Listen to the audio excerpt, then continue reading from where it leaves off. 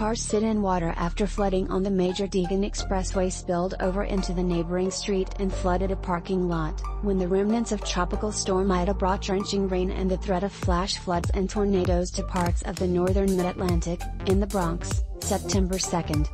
Reuters slash Caitlin Ochs slash file photo sign up for our Politics and Why newsletter for the latest coverage and to stay informed about the 2021 elections in your district and across Nick and Easter is expected to hit New York City Monday night, bringing heavy rain and strong winds to the five boroughs and the Tri.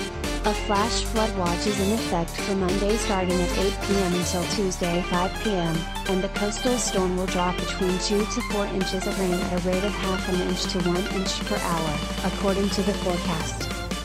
Flash flooding is likely at urban and poor drainage areas, such as subway stations, and flooding is also possible at rivers and small streams. Strong wind gusts of 40 to 50 miles per hour are expected, especially along the coast, which could down trees and power lines, with a wind advisory in effect from 2 p.m. Tuesday until 6 a.m. Wednesday.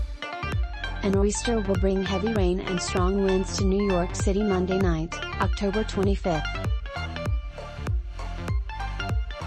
National Weather Service This event may cause flooding in the city, including on highways, streets, underpasses, as well as other poor drainage or low-lying spots, the agency's incoming acting commissioner Andrew D'Amora said in a statement. New Yorkers should give themselves additional travel time and take the appropriate precautions if they must move about the city during the storm.